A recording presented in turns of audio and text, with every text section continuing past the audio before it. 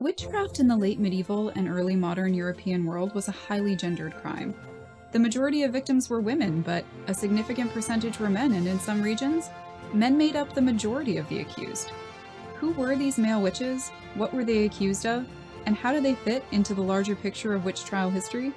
Find out today on Footnoting History. Hi, and welcome to Footnoting History. I'm your host, Kristin, and today we're going to be talking about witches. I know.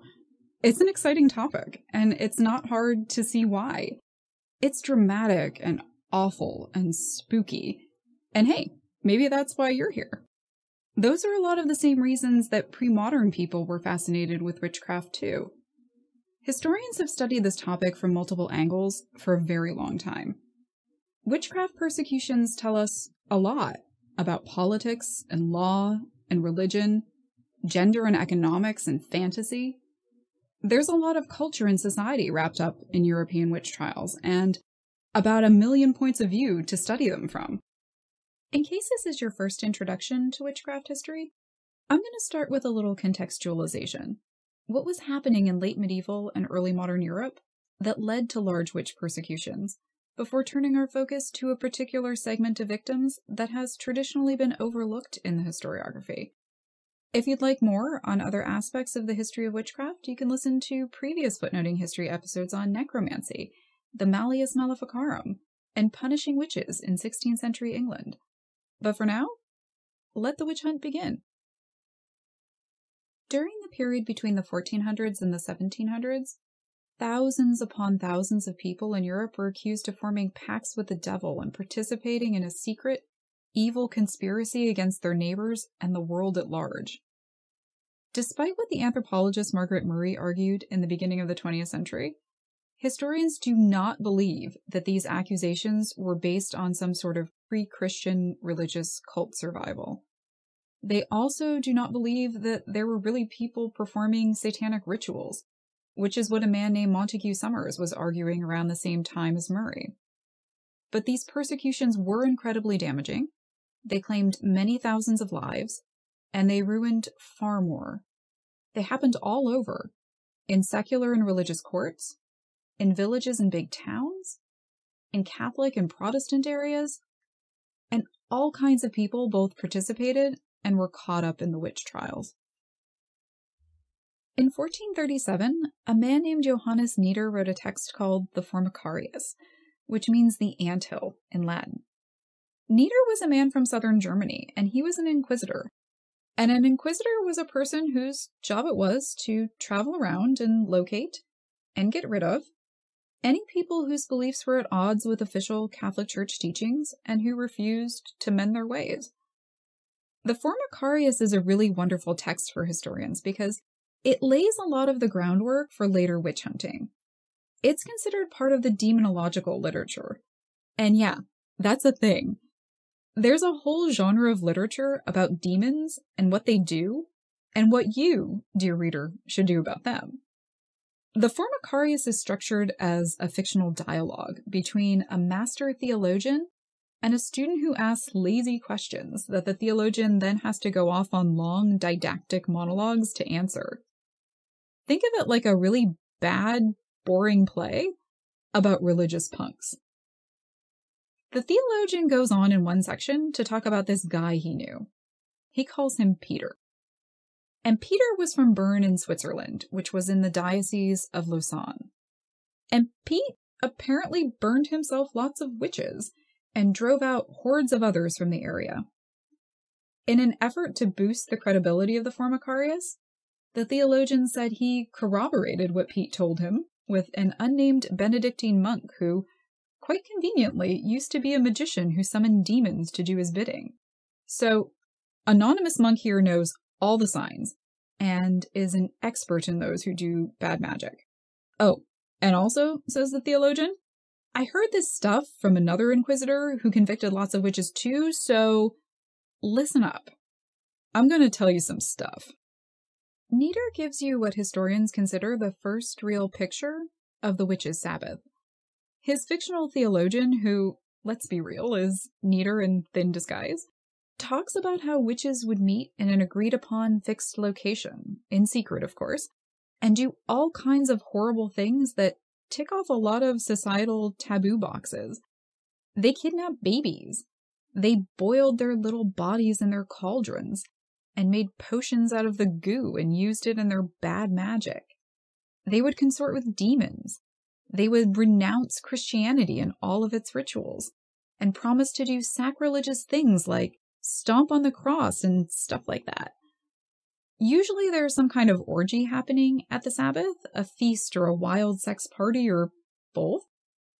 Being a witch was not a passive act and it was not a solitary profession. Witches had to pledge allegiance to the devil and then go out into the world to do his bidding. The Formicarius is considered the earliest document that gives historians a concise picture of the witch like activities that will become very common in later persecutions. And coming hot on the heels of the Formicarius was the first real wave of witch trials in Western Europe. Between 1438 and 1528, 27 people were put on trial for witchcraft in that diocese of Lausanne. In these trials, the accused are all basically asked the same questions, in the same order, and when the interrogators don't get the answers they want, they use torture until they get them. This is where you start to see what is often referred to in the historiography as the cumulative concept of witchcraft, which is kind of a checklist of witchy things that strongly echoes the Formicarius.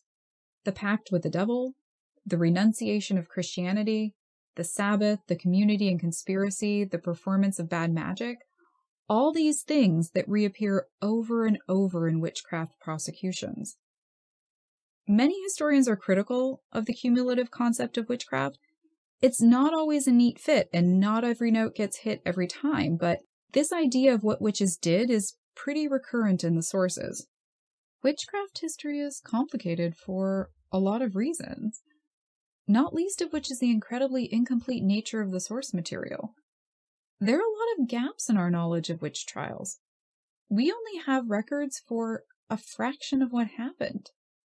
Partly this is because stuff gets lost or it wasn't properly cared for and it deteriorated. And part of it is that when things were at their most crazed, no one had time to keep good records, and so they never existed at all. For example, in the Duchy of Lorraine, which is today an area in northeastern France, between 1570 and 1630, there were about 2,000 witch trials. And we only have full records for about 400 of them. In general, historians don't have nearly as much as they would like, and sometimes the information they get is only partial, so it is a very complicated puzzle to put back together, and it's one that is often missing a lot of pieces. Especially when you're talking about the demographics of witches, those details that tell us something about the person who stood accused. We base a lot of our assumptions on the gender of accused witches on names, and Sometimes we don't even have that. From the work that has been done with the sources that we do have, the picture of the witch is a pretty stereotypical one that you will probably recognize.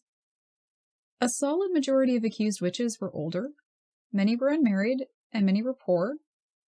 Basically, they were the weakest and most vulnerable members of society. They also tended to have cultivated reputations for being kind of cranky, they were individuals who lived on the margins of society, and they were troublemakers who fought with their neighbors and sometimes liked to use salty language. They often had previous run ins with the law. Many descriptions talk about the witch's reputation for moral and religious deviancy, and it seems to have been something that had gone on for quite a while. There are, of course, lots of exceptions to this stereotypical picture, and there are many references to accused witches where demographic details are missing altogether, but this is the general picture. Additionally, witchcraft was a highly gendered crime, meaning that most of the accused, and we're talking like 75%, were women. The historian Lyndal Roper talks a lot about the gendered nature of the crime of witchcraft and why women were more likely to be accused than men a lot of it had to do with beliefs that women were gullible and stupid, superstitious and weak and just lustful in every possible way. And I know, you're probably rolling your eyes with me right now, but it is important to keep in mind that these beliefs were held by both men and women, and it's just part of the fabric of the larger story. Because of this overwhelmingly female witch demographic, the male witch kind of got ignored in the historiography for a long time. There were some that tried to argue that focusing on the male witch somehow detracted from the real crime, which was the wholesale persecution of women, and to focus on men was to do yet another gross disservice to women and a very long history of disservices. That argument is pretty problematic for a lot of reasons, and most historians today do not argue that persecution of witches equaled persecution of women and studying one segment of victims does not detract from the importance of another. There were some geographical regions in Europe where men were the majority of the accused. Lara Apps and Andrew Gow, whose book is included in the further reading list for this episode, have a chart where they map out all of the gender ratios for witchcraft persecutions. In Burgundy, men made up 52% of the accused. In Estonia, it was 60% men. In Normandy, 73% of the accused were men. And Iceland's accused male witches stood at a whopping 93% of the total. In those first Lausanne trials, it was a majority men. There's probably no one easy answer as to why this was, but there are a few interesting explanations. First, despite the highly gendered nature of the crime, witchcraft was not a gender exclusive club all humans were thought to be vulnerable to the influence of the devil. And that first foundational text for witchcraft persecutions, the Formicarius, makes this pretty clear. Latin has different genders for different nouns, and Nider pulls out both in his description of witches. He actually uses the masculine form of witch, maleficius, far more often than he does the feminine form, maleficia. Nider even begins his section on witches with a story about a male witch named Stedelin, who confessed, after being tortured, to quite the spectacular crime spree. Stedelin claimed to be the chief witch, so not only was he bad to the bone, he was also upper level management, which in and of itself is interesting when considering this incredibly gendered crime. Poor Stedelin may have been the first witch CEO to be named in the court records, but he definitely was not the last. There are vernacular terms for witch in the source material aside from the Latin, but like the Latin, these are also gendered. In French, the words are sorcier and sorcière. You probably can't tell the difference between what I just said because of my French pronunciation, but just know that the feminine form has an accent and an extra E. In German, the words are Hexenmeister for a male witch and Hex for a female witch. In Old English, the words are Wicca, W I C C A, for male witch, and Wicce, W I C C E, for female witch. And this is how we ultimately arrive at our English word for witch, one that was used to talk about both men and women, Langland uses the word witch in his famous 14th century poem Piers Plowman, and he's very clear about who he means. The line reads, quote, Crucify him, said a catchpole, which was a petty bailiff or court figure. Crucify him, said a catchpole. I warrant him a witch. The word warlock does literally exist in the medieval and early modern worlds, but is not so much used in the court records and seems to be more of a 19th century thing. The Middle English Compendium gives us a few definitions of how warlock was being used. One has to do with being shackled and has absolutely nothing to do with magical practitioners. Another is a name for any variety of plants in the mustard family. The final possibility is perhaps a bit more on brand for our purposes. This warlock is defined as a traitor, a criminal, a deceiver, one who is in possession of occult knowledge or who practices sorcery, a damned soul or a monstrous creature. So, definitely kind of witchy, but not precisely fitting into that demonic conspiracy picture of the witch.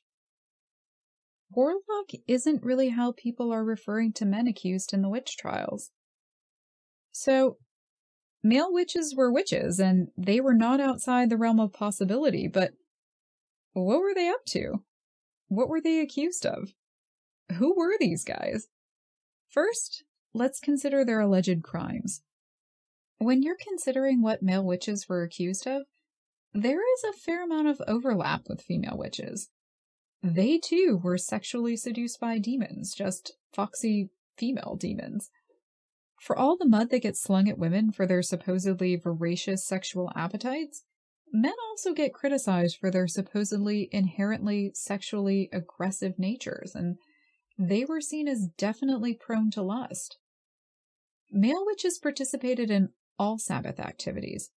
They go out into the community to perform their harmful spells because, you know, that's in the witch's job description. But sometimes their spells have more to do with animals and fields, since that was their gendered workspace and expertise, and they were less likely to be involved in spells focusing on the home and children. All kinds were thought to operate with the familiar, and familiars were these little demonic helpers who took the form of animals.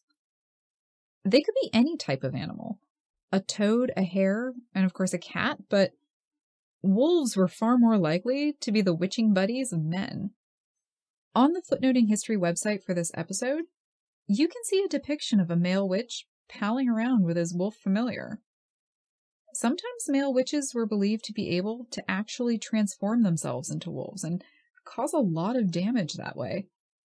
There are a lot of werewolf trials in Central Europe in the 16th and 17th centuries that centered around men. Witches were supposed to take care of their familiars, and they had to feed them from a little nub hidden somewhere on their body.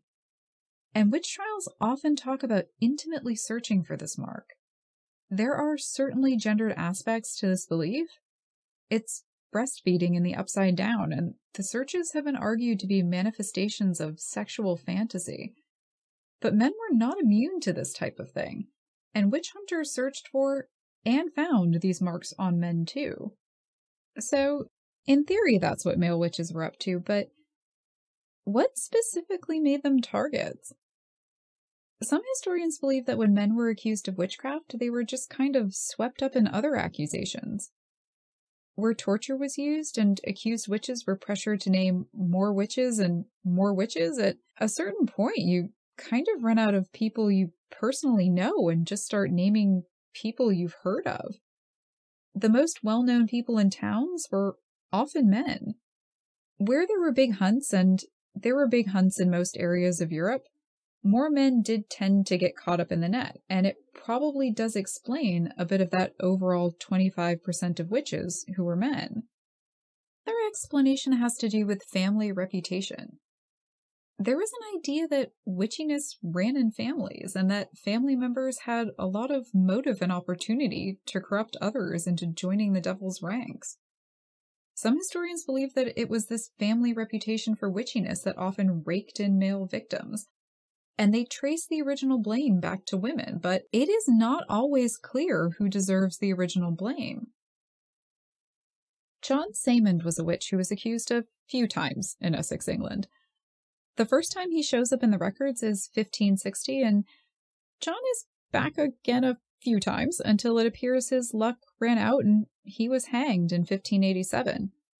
But he's not associated with a female witch the first time he shows up in the sources. At his second court appearance in 1572, his wife Joan is accused as well, but since John is the first identified witch, it seems likely that she was accused because of him and not the other way around. Giles Corey was an accused witch who had a bad reputation that he worked pretty hard to cultivate. Giles Corey was a man who lived and died during the 1692 Salem trials in Massachusetts. His wife Martha was one of the early critics of the young girls who claimed to be afflicted by the specters of witches. And of the two of them, Martha was accused first. And that probably didn't help Giles, but he had been in and out of trouble himself for years. He'd stolen stuff. He was accused of arson. He beat to death a mentally impaired handyman. He was generally described as a very, quote, quarrelsome and contentious bad neighbor. Many accused witches were average farmers who got on their neighbors' nerves, like Giles Corey, but historians are looking a little more in depth at the social makeup of accused witches, and they are finding some pretty interesting trends. And one has to do with who was believed to be more likely to engage in magic of any kind. The practice of ordinary magic was common in many areas of pre modern Europe, and lots of areas had people who had side jobs and magical tasks like spells and charms and fortune telling.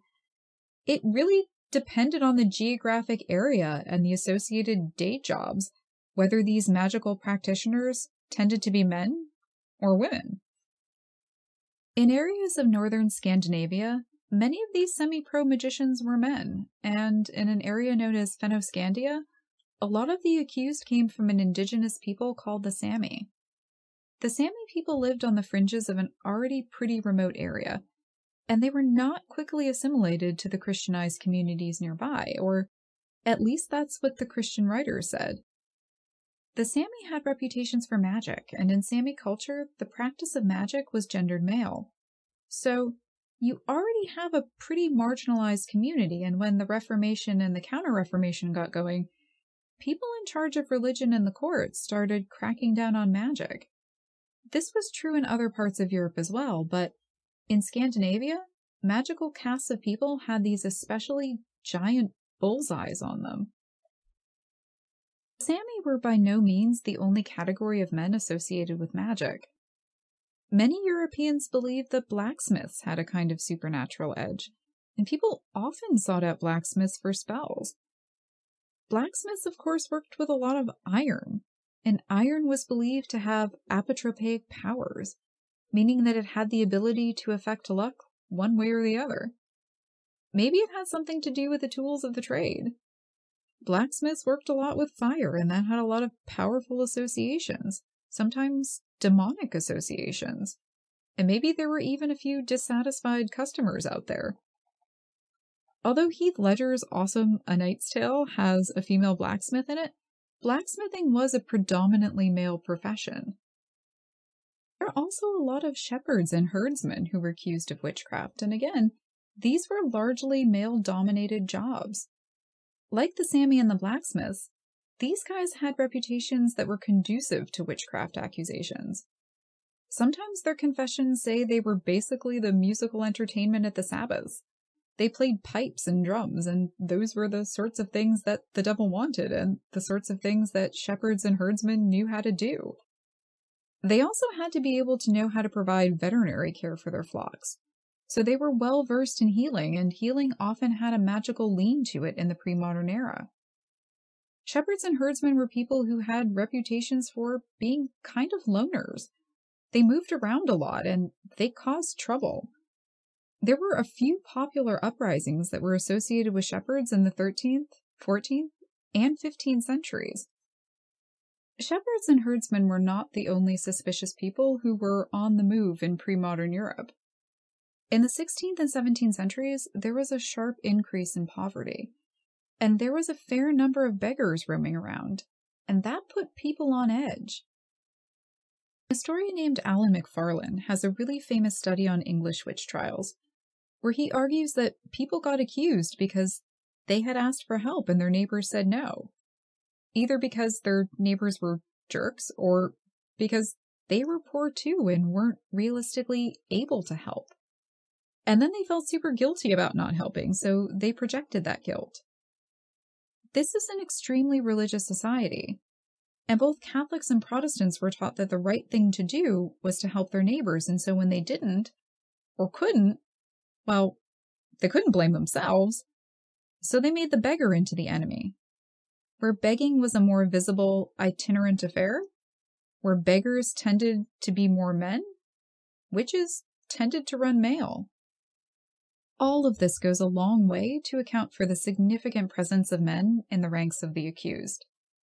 The structures of social and religious hierarchies and gender norms all had enormous effects on how witchcraft persecutions played out, and they were not a one size fits all. Cultures varied drastically. Local concerns and animosities were highly variable factors, and of course, during those large scale hunts, all bets were off.